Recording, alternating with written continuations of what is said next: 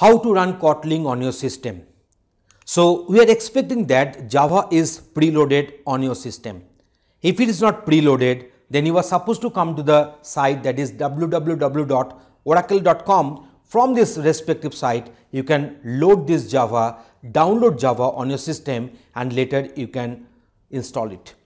So here we have loaded Java JDK 1.8 with 64 bit version and then after downloading the Java will get installed and then you it is optional that you can restart your system once. Then come to this link and from here come to this community and download the JetBrains here and also install it.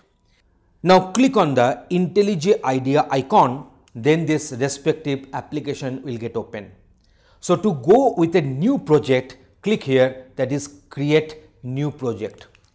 Then this window will come up and here you select Kotlin and here you select Kotlin JVM and then go for next. Then this respective form will come up. Here you are supposed to give the project name, here you are supposed to give the workspace folder and here JDK 1.8 as I loaded earlier. So that will be coming as project SDK. Now go for finish. Then this editor will get open and this editor you just come to this source then go for right click new then go for Kotlin file slash class. Then you give the name hello world and then you start with your coding like this one. So I think it would be better if you go for one practical demonstration to show you that how these things are to be done and how this program is getting typed and how this program is getting compiled and executed. So here is the demonstration for you. Now at first we shall click on this IntelliJ IDEA Community Edition, this very icon to install the editor and IDE on the system.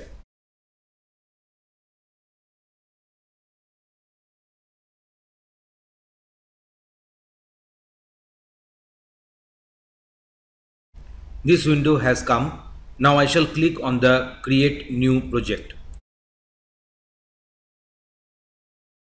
I shall select the option Kotlin and here Kotlin oblique JVM.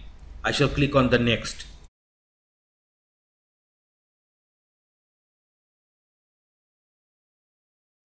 Here the project name I'm giving as hello and here we are selecting the respective workspace in which we are supposed to keep our project and the respective our other programs.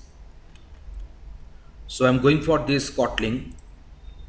Under this Kotlin, I already created one folder Kotlin workspace. So I'm selecting this one. So the respective Kotlin workspace path has come. My project name is hello. I can give other names also. Here I have selected my install Java version it this particular option came automatically because my Java was loaded and here it is Kotlin run Java runtime. So I shall go on clicking on the finish.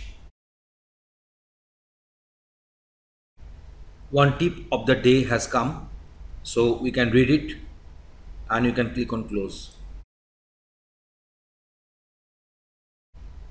Here the project has got initiated. So now on this SRC there is a source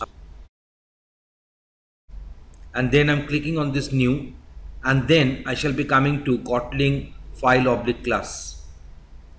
Here I'm giving the name as hello world.